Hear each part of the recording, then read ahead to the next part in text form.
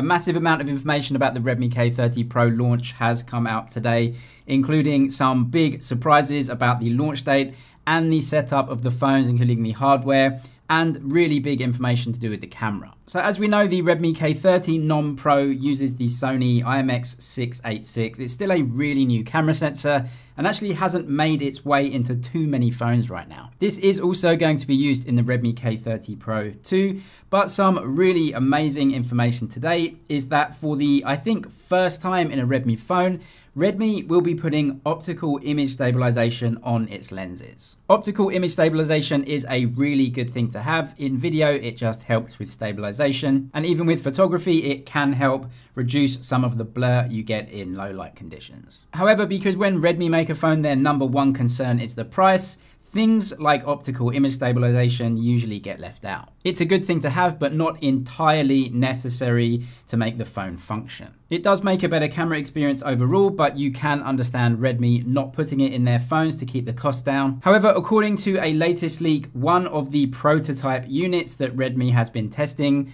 has optical image stabilization, not just on the main lens, but dual OIS. So that means there is an appearance of a zoom camera too. So this is yet another feature that may have just come to light. As we know, Redmi actually took away the 2x zoom camera from the K30 and K30 5G. Those two phones came with the main, the ultra wide, and then two auxiliary lenses, and took away the 2x zoom from the K20 and K20 Pro. However, this leak has just confirmed that there is a prototype unit of the Redmi K30 Pro with that zoom lens. We don't know if the leaker is talking about the K30 Pro or the K30 Pro zoom edition, which is also supposed to be coming. I would suggest that this is actually the normal K30 Pro because to have a zoom edition phone, you need to offer way more than just 2x zoom, maybe up to 5x or 10x hybrid zoom. But it looks like Redmi including a zoom lens on this phone will also include optical image stabilization on that lens. Another huge bit of news today is that Redmi may actually launch the K30 Pro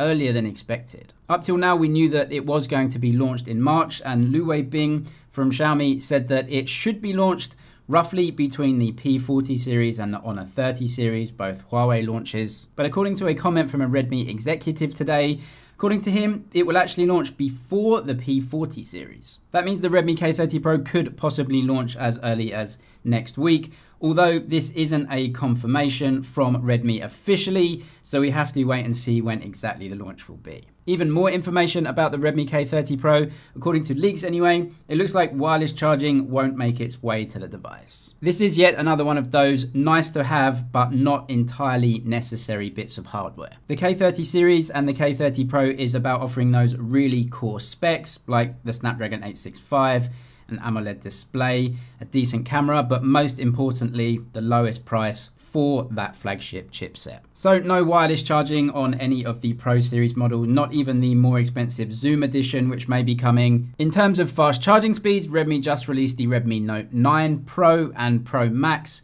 that come with 33 watt fast charging. The K30 series and the K30 Pro are more expensive phones. They're Redmi's flagships, so don't expect any fast charging to be slower than that. It may come in at the same 33 watt or even be pushed to 40 watt. We'll have to wait and see exactly what Redmi give us. How about the RAM to be used in the Redmi K30 Pro?